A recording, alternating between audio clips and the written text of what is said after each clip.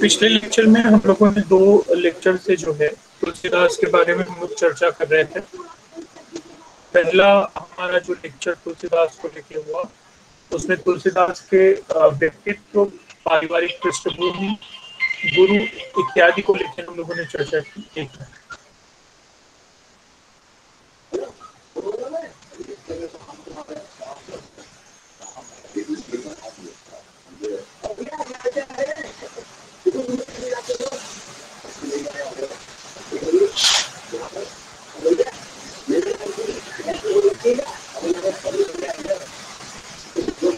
तो उसमें हम लोगों ने तुलसीदास के व्यक्तित्व इत्यादि की चर्चा की उनके जीवन पर की चर्चा की आ, किस तरह से वे गुरु नरहरि दास के शिष्य बने उन तमाम पक्षों को हम लोगों ने देखा।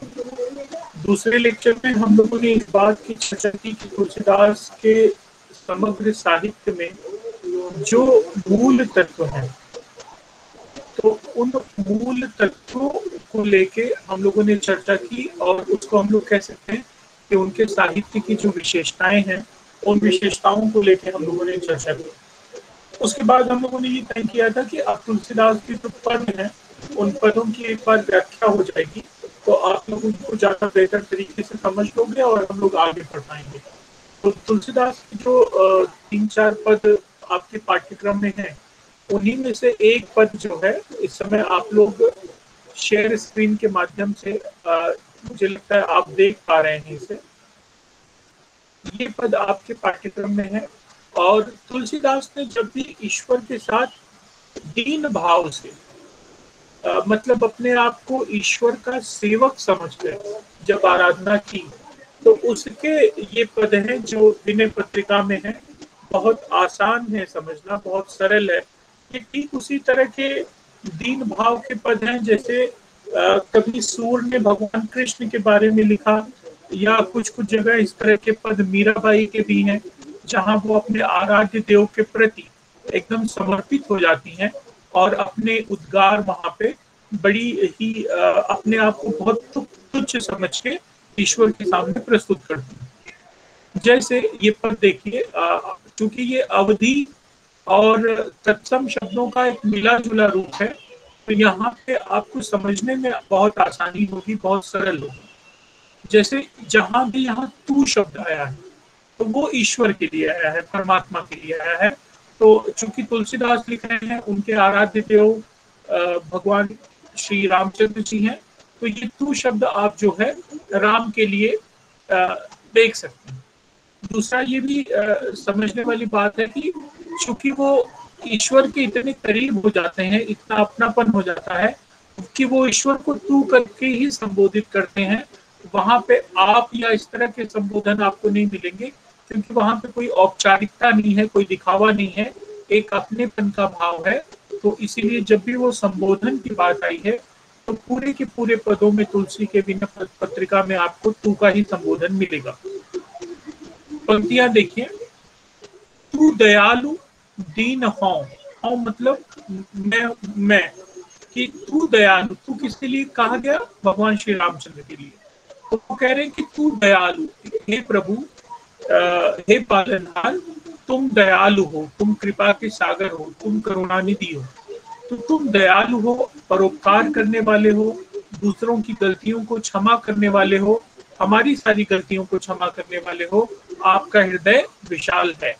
तो तू दयालु दीन हो और मैं दीन हूँ मतलब दुखी हूँ। तू दानी, हो भिखारी, तुम दान दाता हो, तुम दान देने वाले हो।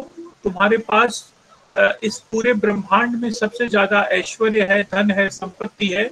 आप बड़े शक्तिशाली हो, आप बहुत संपन्न हो और मैं भिखारी हूँ। तो दोनों चीज़ें कॉन्ट्रेडिक्ट कर रही हैं। अपने ईश्वर को, अपने आराध्य को, अपने परमात्मा को वो सर्वश्रेष्ठ जगह पे बिठा दे रहे हैं और अपने आप को एकदम निचले सोपान पे, एकदम निचले पायदान पे रख रहे हैं ताकि वो कृपा का एक सागर बन सके। तो उनको कह रहे हैं कि आप बहुत दयालु हो और मैं दीनहीन अवस्था में हूँ, मैं दुखी हूँ। आप बहुत दानशील हैं, दानवीर हैं और मैं भिखारी हूँ।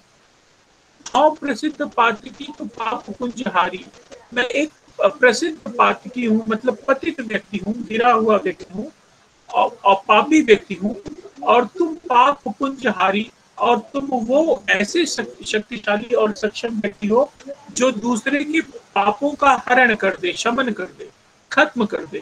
अगर कोई पाप का पुंज भी हो, पुंज मतलब जिसको कहते हैं गुच्छा जैसे फूलों का गुच्छा होता है तो ऐसे कोई बहुत बड़ा पाप का पुंज हो बहुत बड़ा पापों का समूह हो, ऐसी चीज़ों को भी आप जो है आसानी से समाप्त कर देते हैं, परास्त कर सकते हैं, नष्ट कर सकते हैं।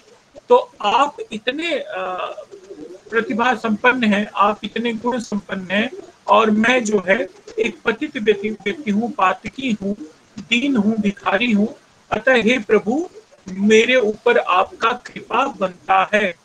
आगे कहते नाथ तू अनाथ को जो अनाथ है, जिनको देखने वाला कोई नहीं है, जिनके कोई माँ बाप नहीं है, जिनका कोई घर परिवार नहीं है, जिनके कोई इष्ट मित्र नहीं है, ऐसे तमाम जो अनाथ लोग हैं, ऐसे अनाथों का नाथ कौन है?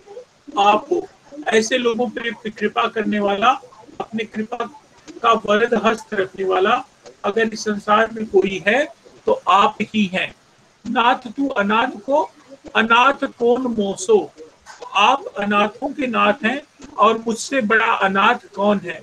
और तुलसीदास के बचपन की कहानी में हम लोगों ने देखा कि वास्तव में वो अनाथ ही हो गए थे। माता पिता उनकी माता की जन्म के साथ ही कुछ दिनों बाद मृत्यु हो जाती है और पिता उन्हें अशुभ मान के आत्मा आत्माराम जी उनका मुँह तक नहीं देखते। ऐसी परिस्थितियों में दासी द्वारा पाले जाते हैं। और बाद में नरहरि दास के शिष्य बन जाते हैं तो परिवार का सुख एक लंबे समय तक उनको नहीं मिला था। तो ऐसे में वो अपने आप को सबसे बड़ा अनाथ कह रहे हैं। तो कहीं ना कहीं उनके अपने व्यक्तिगत जीवन का जो दुख है, दर्द है, वो भी कहीं ना कहीं इन पंक्तियों के माध्यम से सामने आ जाता है कि न अनाथ, तू अनाथ को अनाथ कौन मोसे? मो समान आरत नहीं, आरत हरि तोसो मतलब मेरे जैसा पतित दुखी दीनहीन गरीब अनाथ इस संसार में और कोई नहीं है। और हम जैसे लोगों पे कृपा करने वाला आप जैसा भी कोई नहीं है। आगे फिर वो ईश्वर का गुणगान कर, कर, करते हैं कि ब्रह्म तू हाँ जीव तुम ब्रह्मात्मा हो और मैं जीव हूँ। और हम सभी जानते हैं कि जीव जो है ब्रह्मात्मा का एक अंश है, इसीलिए वो अपने आप को जीव और ईश्वर को ब्रह्म बताते हैं। तू है ठाकुर हाँ चेरो। ठाकुर शब्द भी ईश्वर के लिए इस्तेमाल किया जाता है। मीराबाई ने भी कई जगह इस ठाकुर शब्द का इस्तेमाल किया है। यहाँ पे ठाकुर का मतलब वो जाति सूचक ठाकुर नहीं, यहाँ ठाकुर का मतलब ईश्वर से ही है। तो कहते हैं कि तू हो ठाकुर, मैं हो चेरो। कि तुम मेरे ईश्वर हो, मेरे आराध्य हो और मैं तुम्हारा चेरो चेरो मतलब चेला। मैं तुम्हारा शिष्य हूँ, तुम्हारा चेला। आगे कहते हैं, तात मात मतलब माता पिता गुरु सखा, गुरु और मित्र, तू सब विधि ही मेरो। तुम हर तरीके से मेरे हो और मेरा भला करने वाले हो। चाहे हम लोगों के बीच में माता पिता के साथ पुत्र का संबंध जोड़ लिया जाए, चाहे चाहे गुरु गुरु या मित्र का संबंध जोड़ लिया जाए, जो भी संबंध ठीक लगे वो जोड़ लिया जाए आप हर तरह से जो है मेरी मदद करने वाले हो, मुझ पर अपनी कृपा करने वाले हो। तात मात गुरु सखा, तू सब विधि तू मेरो। आप हर रिश्ते से, चाहे रिश्ते का नाम कुछ भी हो, आप हर रिश्ते से सिर्फ़ और सिर्फ़ मेरी, मेरे ऊपर कृपा करना चाहते हो, मेरे ऊपर अपनी दया दृष्टि बनाए रखना चाहते हो। फिर आप आगे जो है ज़्यादा बेहतर तरीके से इसी बात को स्पष्ट करते हुए कहते हैं तो ही मोह ही नाते अनेक तो ही मतलब तुम्हारे। अर्थात ईश्वर कह रहे हैं कि तुम्हारे। तो ही मोह मोह मतलब मेरा तुम्हारा और मेरा ना, नाते अनेक। कहते हैं कि तुम्हारे और मेरे संबंध ना, नाते अनेक मतलब रिश्ते। तुम्हारे और मेरे रिश्ते अनेक हैं। फिर ये रिश्ते का नाम कुछ भी हो सकता है। ये शिष्य का रिश्ता हो सकता है, या मित्र का रिश्ता हो सकता है, या माता पिता और पुत्र का रिश्ता हो सकता है। जो भी माना जाए, मैं हर रिश्ते के लिए तैयार हूँ। तो ईश्वर के साथ किसी भी तरह से जुड़ना हो, मैं जुड़ने के लिए तैयार हूँ। वही वो कहते हैं कि तो ही मोही नाते अनेक, तुम्हारे और मेरे नाते अनेक हैं। मानिए जो भावे मानिए मतलब मान लीजिए, जो भावे, जो भी आपको पसंद हो, वो रिश्ता आप मान सकते हैं। कहने का मतलब यहाँ पे रिश्तों का कोई बंधन नहीं है कि मैं आपका सेवक हूँ, मैं आपका दास हूँ, मैं आपका मित्र हूँ, मैं आपका सखा हूँ, मैं आपका प्रेमी हूँ। जो भी रिश्ता आपको समझ में आता है, उस रिश्ते को मान लीजिए, स्वीकार लीजिए, जो भी आपको पसंद है, उसे मान लीजिए। जो भी आप पसंद करेंगे, मैं उस हर रिश्ते के लिए तैयार हूँ। लेकिन हे परमपिता हे ईश्वर, मेरे हाथ को आप कभी मत छोड़िए। मेरे सर पर से आप कृपा का हाथ कभी मत हटाइए, क्योंकि आप कृपा सिंधु हैं। हर ढंग से संपन्न है, ऐश्वर्य से संपन्न है, कृपा से संपन्न है। इस दुनिया में आपसे बड़ा प्रतिभावान और प्रभावशाली व्यक्ति कोई नहीं है, और मेरे जैसा दीन, पतित, कमज़ोर व्यक्ति कोई नहीं है। तो सबसे अधिक शक्तिशाली, सबसे दयालु होने के नाते भी ये आपकी ज़िम्मेदारी है कि हम जैसे अनाथों का नाथ बनकर आप हमारे जीवन का कल्याण करें, आप हमेरा उद्धार करें। भाई, वो अंतिम पंक्ति में ये बात कहते हैं कि तो ही मोहि नाते अनेक मानिए जो भावे, ज्यो त्यों तुलसी कृपालु चरण शरण पावे। ज्यो त्यों तुलसी कृपालु, कहते हैं कि आप तुलसी पर अपनी कृपा कर दीजिए। यहाँ पे तुलसी शब्द उनके अपने नाम के लिए आया है और ये परंपरा रही है कि पदों के बीच में अपने नाम का वो उल्लेख कर देते हैं, जिससे ये भी स्पष्ट रहे कि ये पद उन्हीं का है। जैसे रहीम दास भी इस तरह से करते हैं, मीराबाई भी इस तरह से करती हैं कबीर भी कहते हैं, जैसे कबीरा कूटा राम का तो अपना नाम इस्तेमाल करिए। रहीमन के रहीम के तमाम पदों में रहीमन धागा प्रेम का तो उन्होंने अपना नाम इस्तेमाल कर दिया। ठीक उसी तरह यहाँ पे भी तुलसी, या सूर ने भी यही किया है सूर ने भी अपना नाम इस्तेमाल किया है। यहाँ पे भी जो है तुलसीदास अपने नाम का इस्तेमाल कर रहे हैं कि ज्यो त्यों तुलसी कृपालु चरण शरण पावे, कि आप तुलसी के ऊपर अपनी कृपा करिए परम पिता और क्या करिए? कृपा कैसे करिए? तो चरण शरण पावे। आपके चरणों में शरण देकर आप तुलसी के ऊपर कृपा करिए। यहाँ पे देखिए छोटी छोटी बातें बड़ी प्रमुख हो जाती हैं कि चर, चरण शब्द नहीं लिखा उन्होंने चरण लिखा। शरण शब्द नहीं लिखा शरण लिखा। क्यों? क्या तुलसी को संस्कृत का या तत्सम शब्दों का ज्ञान नहीं था? ऐसा नहीं है। उनको सारा ज्ञान था। वे संस्कृत के प्रकांड विद्वान थे। ज्योतिष के प्रकांड विद्वान थे, लेकिन जानबूझ के इस तरह के शब्द जो सामान्य जनमानस के बीच में प्रचलित थे, जिनसे सामान्य जनमानस देश का परिचित था, उन शब्दों का चयन किया गया ताकि इन पदों को समझने में उन्हें ज़्यादा आसानी हो। तो उनकी सहजता और सरलता के लिए तुलसीदास ने इस तरह के शब्दावली का उपयोग किया इस तरह के वाक्य विन्यासों की रचना की, जिसमें एक तरह की लय हो, एक तरह की चित्रात्मकता हो, सहजता हो, सरलता हो, और इन पदों को सामान्य जन अच्छे से याद रख सके, अच्छे से गा सके, अच्छे से का स्मरण कर सके, इन सारी बातों को ध्यान रखते हुए उन्होंने इस तरह के शब्दों का इस्तेमाल किया। और चूँकि वो बनारस में थे अवधि के शब्दों का उन्होंने उस क्षेत्र में जो भाषा बोली जाती है, उस अवधि का इस्तेमाल उन्होंने रामचरित मानस के लिए भरपूर किया। तो मुझे लगता है ये पहला पद जो तुलसीदास का है, ये आप लोगों को समझ में आ गया होगा, है ना? इस पद में ऐसा कुछ है जो आपको न समझ में आया? नहीं, सर। तो ये उनका एक पद था जो आपके पाठ्यक्रम में जो निर्धारित है, उसमें से हम लोगों ने पूरा किया।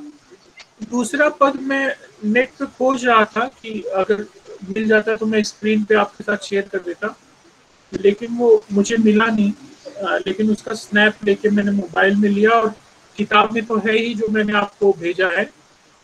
तो ये स्नैप मैं आप लोगों को पहले भेज दूँ क्या? मोबाइल पे। एक मिनट रुकिए, मैं इसे आपको मोबाइल पे भेज दे रहा हूँ ताकि ये आपके सामने रहे तो ज़्यादा बेहतर होगा आपको समझने में। देखिए, मैंने आपको मोबाइल पे भेज दिया है स्नैप जो है व्हाट्सएप पे आपको भेजा हुआ है।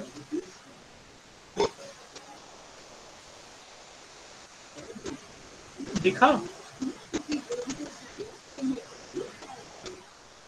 हाँ सर आ गए। आ गया है। तो ये उसी किताब का हिस्सा है जो किताब पूरी की पूरी पीडीएफ आपके पाठ्यक्रम की मैंने आपको शेयर की हुई है उसी किताब का हिस्सा है। मैं इसे आ, मेल पे भी मैंने ओपन करने की कोशिश की है कि अगर ये हो जाए तो मैं इसे आप लोगों के साथ शेयर कर। दूँ हाँ, एक मिनट। है पद सामने रहता है ना तो आप लोगों को समझने में आसानी होती है। हाँ ये मेल पे आ गया है, मैंने इसे डाउनलोड किया।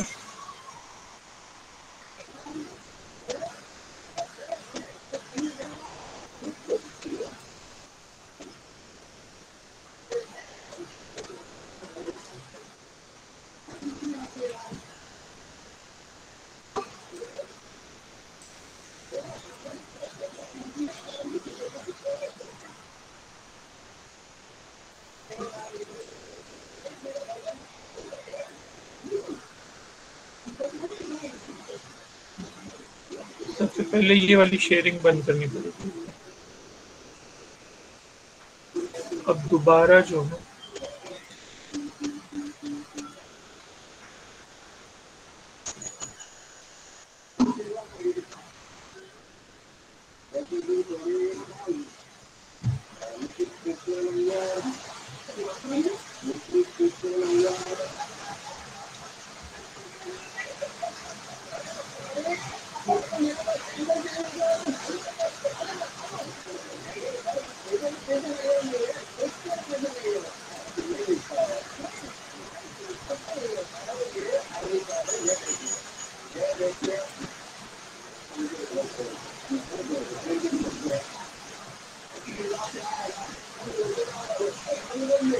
ये दिखाई दे रहा है आप लोगों को?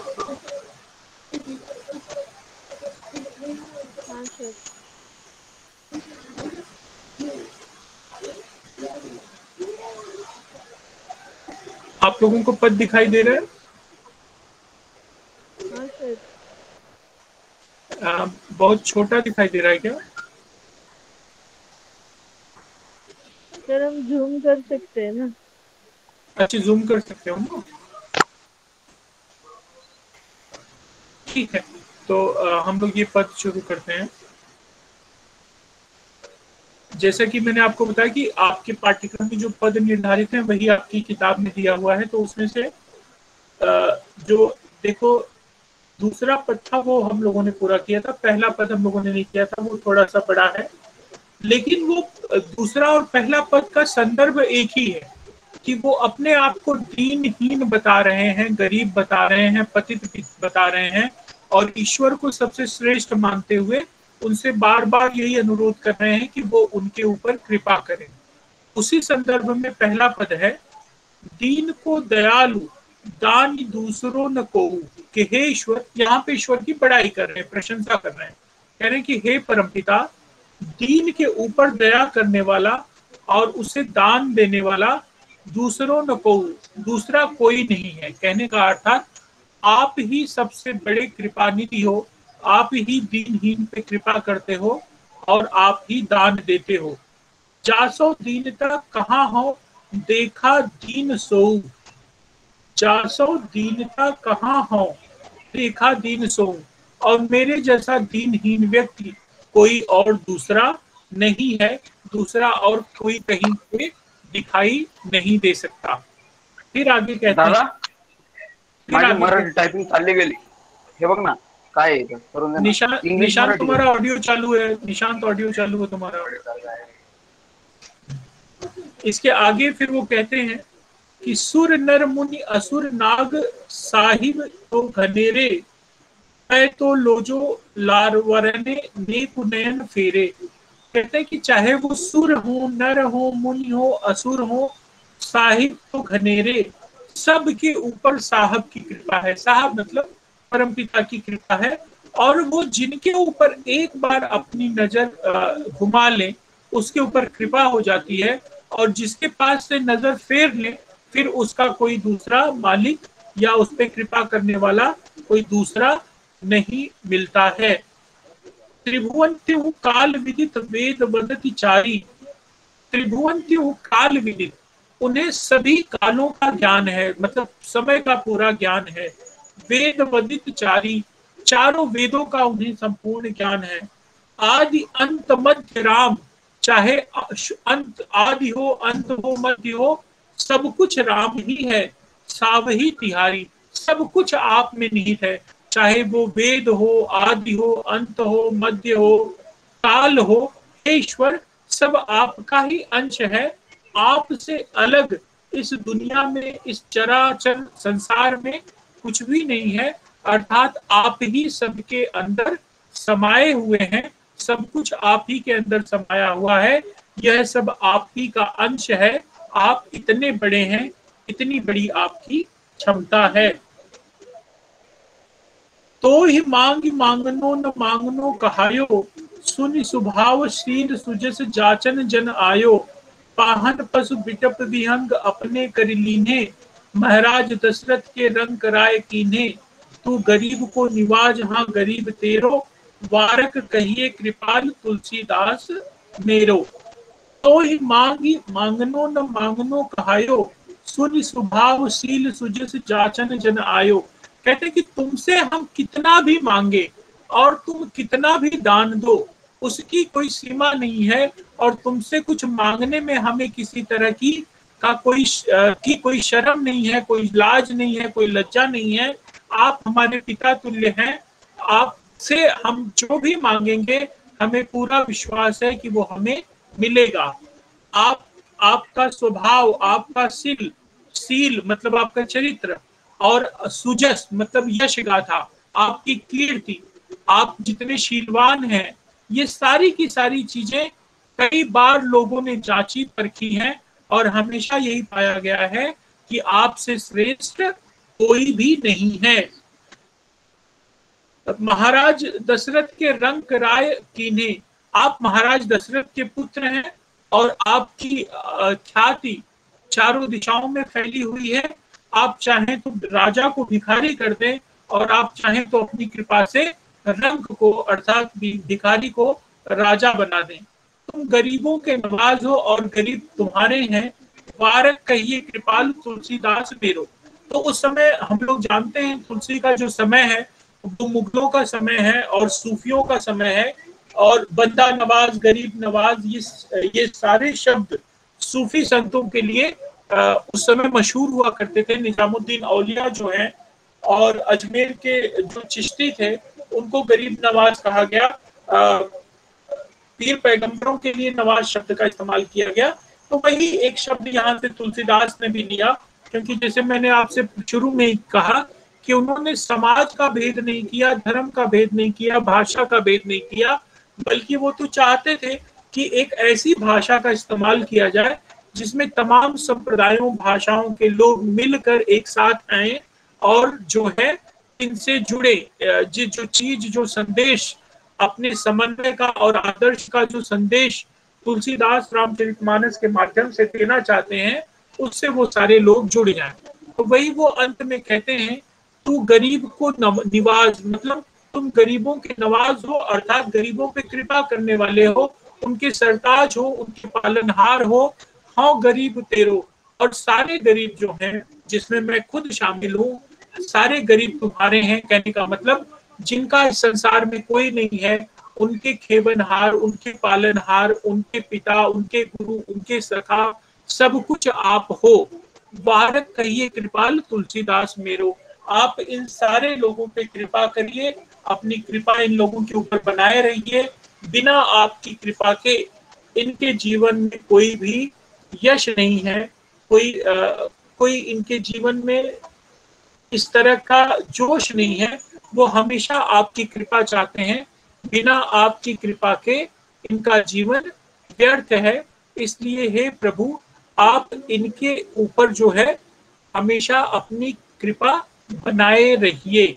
आप अपनी कृपा से कभी भी इन लोगों को वंचित मत करिए। यही बार बार अनुरोध विनय इस, इस जिस किताब से ये पद लिए गए हैं उसका नाम ही विनय पत्रिका है कि जहाँ पे वो विनय कर रहे हैं अनुरोध कर रहे हैं परम पिता से कि परम पिता किस तरह से अपनी कृपा इन तमाम लोगों के ऊपर बना के रखें उसका विनय जो है वो इन पदों में तमाम विनय पत्रिका के पदों के माध्यम से वो कर रहे हैं। तो ये दो पद तुलसीदास के हुए कबहु मन विश्राम न मान्यो। ये वाला पद भी आपके पाठ्यक्रम में है क्या?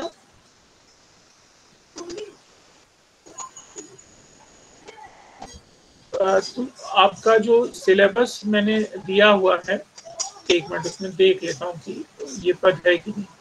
क्योंकि किताब में जितने पद हैं, वो सारे के सारे पद आपके पाठ्यक्रम में नहीं है। पाठ्यक्रम में दो तीन ही पद हैं और निर्धारित पद हैं। और अगर परीक्षाएँ सामान्य रूप से हुई तो जो संदर्भ सहित भावार्थ के लिए या व्याख्या के लिए पद आएँगे, वो इन्हीं में से आएँगे। तो ये सुनिश्चित कर लेना, ये जान लेना बहुत ज़रूरी है कि वो आपके पाठ्यक्रम का हिस्सा है कि नहीं है। तो पाठ्यक्रम में जैसे हम लोगों ने देखा था कि छोटे छोटे उसमें जो है पंक्तियों में ये बता दिया गया था कि कौन कौन से पद आपके पाठ्यक्रम में हैं। तो सूर हो गए हाँ तुलसीदास के कुल चार पद हैं, जिसमें से दीन को दयालु हम लोगों ने किया, तू दयालु दीन हो, वो भी हमने किया। तीसरा है, कबहू मन विश्राम अच्छा ये भी है, कबहू मन विश्राम न मान्यो। और चौथा है, जाऊँ कहाँ तजी। ये जो है, चार के चारों पद जो हैं, तुलसीदास के, आपके पाठ्यक्रम में हैं। ठीक है तो अगला पद भी हम लोग देख लेते हैं। तो ये ये पद कल मैं कराऊँगा, लेकिन जो अंतिम पद है, वो ज़्यादा आसान है, वो आज हो जाएगा। तो पहले हम लोग उसको करा लेते हैं। अगर आपके पास पाठ्यक्रम या सिलेबस होगा या किताब होगी तो ये आपका पृष्ठ, मध्यकालीन काव्य में पृष्ठ नंबर 22 पर ये है। ये जो आप स्क्रीन पे देख पा रहे हैं, ये 21 नंबर है, और इसी के बाद 22 नंबर पे वो पद है। जाऊँ कहा तज चरण तुम्हारे? मतलब ईश्वर से फिर कह रहे हैं परमपिता से तुलसीदास फिर कह रहे हैं कि, हे परमपिता परमेश्वर, जाऊँ कहा तज चरण तुम्हारे? तुम्हारे चरणों को छोड़कर मैं कहा जाऊँ? तो चरणों को छोड़कर अर्थात आपकी सेवा भाव की दुनिया छोड़कर मैं कहा जाऊँ? आपके शरण को छोड़कर कहा जाऊँ? या आपकी कृपा को छोड़कर कहा जाऊँ? आपसे अलग होकर कहा जाऊँ?